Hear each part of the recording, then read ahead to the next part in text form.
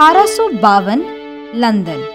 Queen Victoria ने भारत के कुर की 11 साल की राजकुमारी के लिए गॉड मदर बनने का फैसला किया, जब वो अपने पिता के साथ लंदन गई।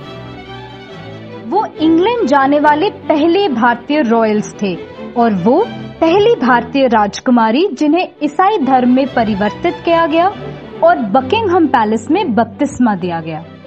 एक सम्मानित राजकुमारी उन्होंने ब्रिटिश राज परिवार के साथ, अंग्रेज़ों के साथ शाही क्रियाकलापों में हिस्सा लिया।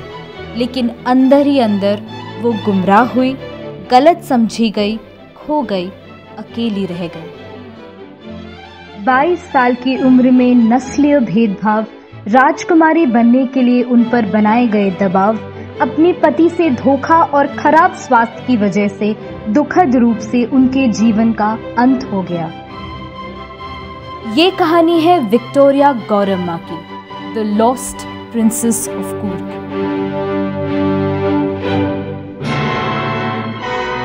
24 अप्रैल 1834 को ईस्ट इंडिया कंपनी के साथ एक खूनी युद्ध के बाद कूर्ग को अनुबंधित कर दिया गया। और राजा चिक्का वीरा राजेंद्र को हराकर गद्दी से हटाने के बाद वाराणसी भेज दिया गया। भारत की ब्रिटिश सरकार से अपना धन वापस लेने की मांग करने निर्वासित राजा मार्च अठारह में लंदन के लिए रवाना हुए। अपनी बेटी के भविष्य को सुरक्षित करने के लिए रानी से उसे गोद लेने की पेशकश की। रानी विक्टोरिया ने पिता पुत्री की जोड़ी की शाही देखरेख की और आसानी से 11 साल की गौरव माँ की गॉड मदर बनने के लिए तैयार हो गई और उन्हें अपना नाम भी दे दिया। 5 जुलाई अठारह सौ बावन को बकिंगहम पैलेस में कैंटरबरी के आर्च बिशप ने गौरव माँ को ईसाई धर्म का बपतिस्मा दिया। राजकुमारी विक्टोरिया को एक भारतीय सेना के दंपति, मिसेस और मेजर ड्रमंड के देखभाल में रखा गया था, जिन्होंने उन्हें पढ़ना लिखना सिखाया और उन्हें पश्चिमी विचारों और आदर्शों में ढाला। वो कथित तौर पर शर्मीली नहीं थी। वो नियमित रूप से शाही जलसों में दिखी जाती थी। शराब पीती थी और अंग्रेज़ों के साथ डांस भी करती थी। इससे उनकी ज़िंदगी स्वाभाविक रूप से प्रेस की नज़रों में आ गई। इस समय के आसपास वो बीमार भी रहने लगी।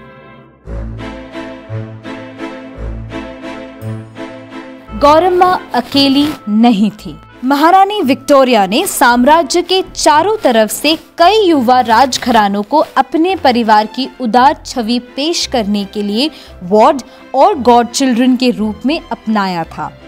उनमें से महल में दलीप सिंह और सारा बोनेटा फोर्ब्स अन्य रॉयल्स ऑफ़ कलर थे।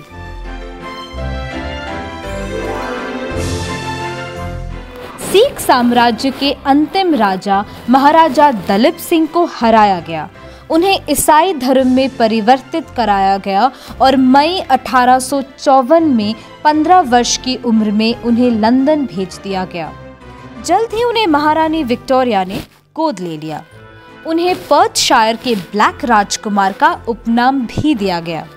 रानी और पूरे शाही परिवार ने उनकी शादी गौरम्मा से करवाने की पूरी कोशिश की।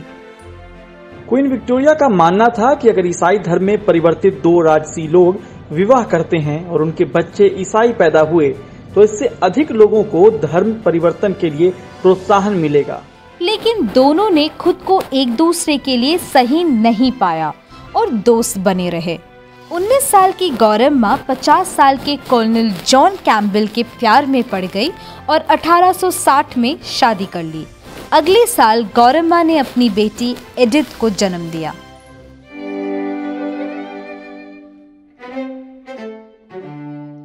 शाही होने के बावजूद क्वीन के गॉड चिल्ड्रन को कमतर आंका जाता था और दूसरे कट्टरपंथी के रूप में देखा जाता था। गौरम्मा पर उनके पिता और परिवार से मिलने पर तक प्रतिबंध लगा दिया गया था। गौरम्मा एक मॉडल एंग्लिसाइज्ड राजकुमारी बनने के लिए उन पर बनाए गए दबाव से जूझती रही।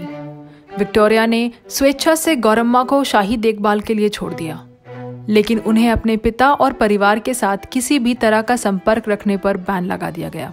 गौरम्मा को फॉस्टर फैमिली से फैमिली में स्थानांतरित कर दिया गया था। क्योंकि उसके देखभाल करने वालों ने शाही वार्ड बढ़ाने की लागत और मांगों के साथ संघर्ष करना शुरू कर दिया था। इसके बाद गौरम्मा ने बार बार भागने की कोशिश की थी। गौरम्मा प्यार पाने के लिए बेताब थी। एक परिवार और एक घर जिसे वो अपना कह सकती थी। वो गोपनीय और स्वतंत्र जीवन चाहती थी, लेकिन उनकी ज़िंदगी एक गुम किशोरी के रूप में खत्म हो गई। उनके पति जुआ खेलते थे और उनकी तरफ़ कोई ध्यान नहीं देते थे। उन्हें जल्द ही एहसास हुआ कि वो एक बिना प्यार वाली शादी में फंस गई है। 30 मार्च 1864 को राजकुमारी विक्टोरिया गौरम्मा अपने तेईसवें जन्मदिन से कुछ महीने पहले ट्यूबरकुलोसिस की वजह से ज़िंदगी की जंग हार गई और उनके पति उनकी मौत के तुरंत बाद उनके सारे गहने और पैसे लेकर गायब हो गए।